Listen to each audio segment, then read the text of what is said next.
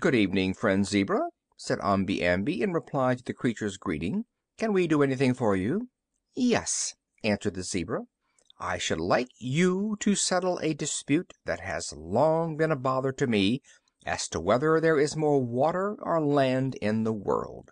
"Who are you disputing with?" asked the Wizard. "With a soft shell crab," said the zebra. "He lives in a pool where I go to drink every day, and he is a very impertinent crab, I assure you. I have told him many times that the land is much greater in extent than the water, but he will not be convinced. Even this very evening, when I told him he was an insignificant creature who lived in a small pool, he asserted that the water was greater and more important than the land.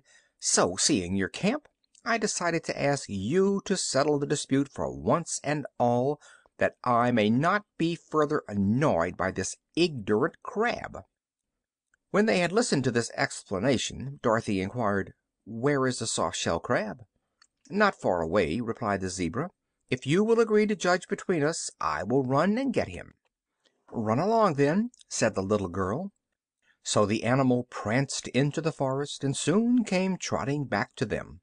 When he drew near they found a soft shell crab clinging fast to the stiff hair of the zebra's head, where it held on by one claw.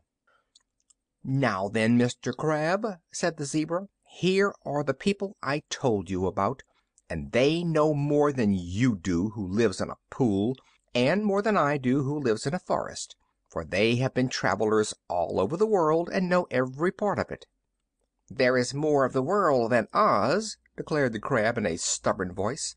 "That is true," said Dorothy; "but I used to live in Kansas, in the United States, and I've been to California and to Australia, and so has Uncle Henry." "For my part," added the Shaggy Man, "I've been to Mexico and Boston and many other foreign countries." "And I," said the Wizard, "have been to Europe and Ireland."